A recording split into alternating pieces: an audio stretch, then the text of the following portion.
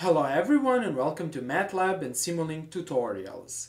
In this tutorial, we explain how to properly save Simulink graphs as regular MATLAB figures. The main motivation for creating this video tutorial comes from the fact that Simulink graphs generated by using Simulink scopes, such as the scope that you can see over here, have black backgrounds with colored thin lines and weakly visible fonts on the black surface.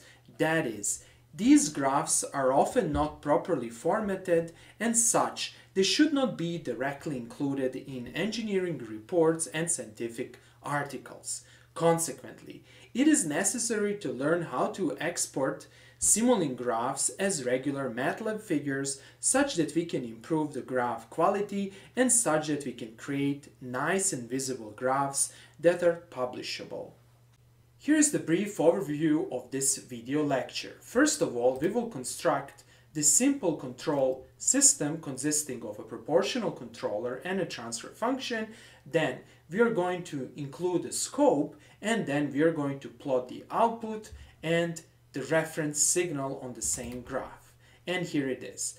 After that, we are going to export this graph as a regular MATLAB figure and we are going to modify this graph. We are going to change the background color, we are going to change the font size, we are going to change the color of fonts and we are going to do several other adjustments. So let's immediately start. Okay, let's first create a simple control system. Double click here and search for transfer function. Then let's expand this transfer function block. Double click on the transfer function and let's adjust the transfer function coefficients. Over here in the denominator, let's type 1 and 0.5. And over here you can see a simple first order transfer function. Next, let's add the proportional controller. To add the proportional controller, double click over here and search for a gain. Let's expand this block, place it over here, double click and put for example the gain as 5. Click OK, then we need a summation block. Double click here and search for sum. And here it is. Let's enlarge this block, double click, change the plus to minus and let's connect this part and this part over here. Good. Next, let's introduce a feedback and finally, let's introduce a step or a reference signal. Double click here and search for step. Here it is. Let's double click on step. As a step time, let's assume 0 seconds and click on OK and connect this port to the output of the step signal. Next, let's introduce a mux block. Double click here. We're introducing the mux block since we want to plot several lines on the same graphs. So let's connect this port to the reference, this port to the output, double click over here and search for scope. Here's the scope and connect this part. Next, let's run the simulation. To run the simulation, click over here on simulation and click on run and keep the default settings. And to see the simulation results, simply click here and you should see the results. Of course, since we are only using a proportional controller, we are going to have a steady state error. To eliminate this steady state error or to minimize it, you can double click here and introduce a gain, for example, 15. Click OK, click Run again, and double click here. And you can see that the steady state error is smaller. Next, let's decrease the stop time to 5 seconds and let's run again.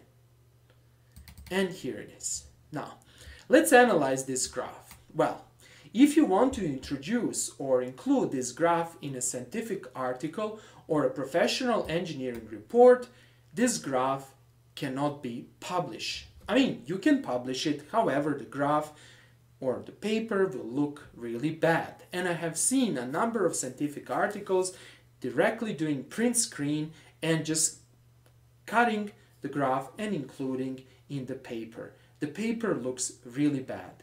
The lines will not be readable and plus you're going to have a black surface and on this black surface you're going to be going to have colored lines and this is not a good practice. Consequently, let's learn how to export this graph as a MATLAB file or as a MATLAB graph and let's modify this graph and improve it such that it becomes publishable.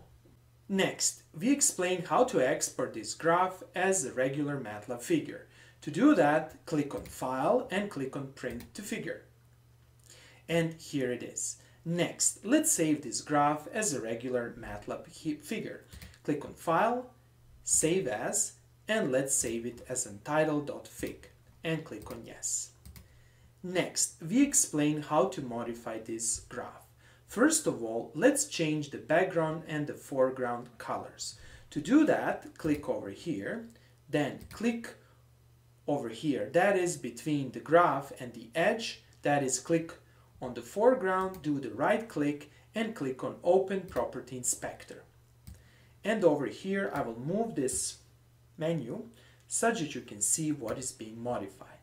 First of all, find this option color and styling, click on foreground color and select white. And do the same thing for the background color.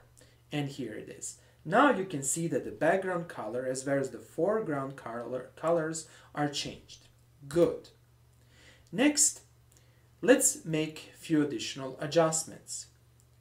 First of all, let's increase this font size and let's set it to 14 for example. You will not immediately see this change. However, later on we are going to change the fonts on X and Y axes. Okay, here you have some additional options that you can change. However, let's not play with these options for the time being. Next, click over here and as you click over here, you will see that something changed. Now you're adjusting the graph properties. And first of all, let's change the font size. For example, let's keep this 14 and here it is. Magic happened. You can see that the font is increased and now you can clearly read the X and Y axes. Good. Here you can adjust the font weights However, we are not going to do that. Next, let's adjust the colors. Click here on box and styling and over here click on this icon and change the color to white.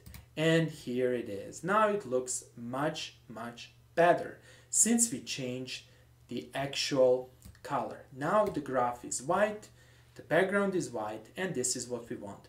Next, let's increase the line thickness. Click on this line and increase the line width. For example, you can set to 3 and now that line is much visible. Then, oops, let me close this. You can click on this line. Then again, let's select 3 and now the line is also visible. And let's change this line since yellow color is not good, not clearly visible, and here it is. Next thing that you can change is the font color. Namely, you can see that the fonts are gray. That is, they are light gray and they are not clearly visible. So let's change the font colors. To change the font color, make sure that this cursor is pressed, then click on the graph and over here find the rulers. Then scroll all the way down and find X color and Y color. And over here change the color. For example, if you like the blue color, you can select this color and you can do the same thing for the Y axis. And here it is. Now the colors are changed. Then over here you can also change the size of the graph and you can do several other adjustments such as inserting a legend. So click here, insert and legend and over here you have the legend. You can modify and change the position of the legend as well as modification of the size of the legend block. Okay, that's all for today and thanks for watching.